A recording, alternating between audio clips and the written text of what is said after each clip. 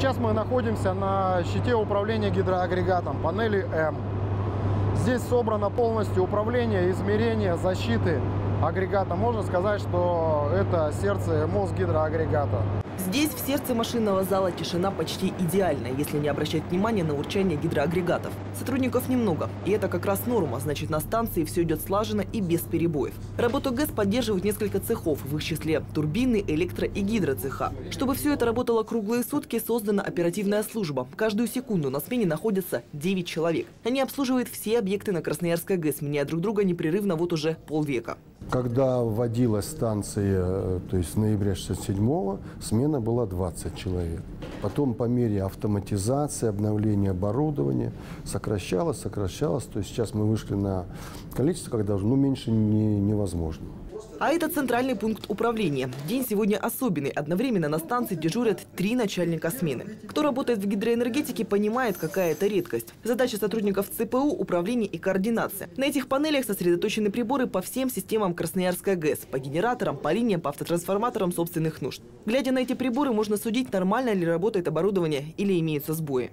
Напряжение здесь, особенно в момент каких-то, если аварийных ситуаций, на самом деле значительно больше, потому что самое тяжелое – это ждать. То есть отдал команду и ждешь, выполнили, не выполнили, когда выполнили, как выполнили. А может быть, там что-то случилось, а ты об этом не знаешь. Вот самое сложное – это ждать.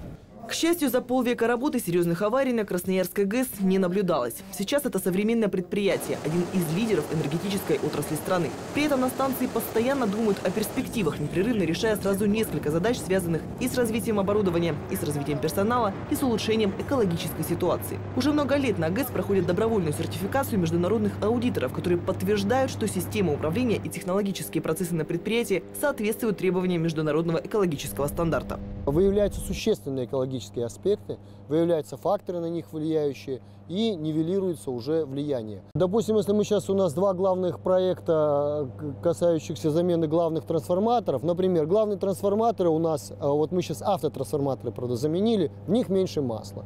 То есть снижается риск воздействия масла на окружающую природную среду, на всю, на воздух, на природу, на, на почву, на воду. С таким подходом и стремлением к развитию Красноярская ГЭС уже давно стала опорной точкой для развития производств, индустриализации Красноярска и центральных районов края. За 50 лет изменилось производство, многих заводов не стало, появились новые заводы, новые виды продукции, новые технологии. И мы, соответственно, должны соответствовать этому уже времени.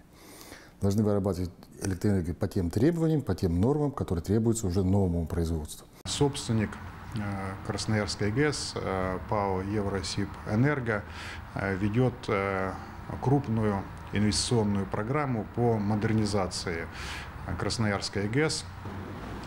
При этом работа идет параллельно, то есть станция работает, вырабатывает ежегодно более 18 миллиардов киловатт-час из 69-70 миллиардов, которые ежегодно вырабатываются на территории Красноярского края. Сейчас модернизация на ГЭС находится в завершающей стадии. Осталось заменить рабочие колеса гидрогенераторов. Оборудование уже доставлено на станцию и в ближайшем будущем будет смонтировано. Алина Штоколова, Алексей Гусев. Новости.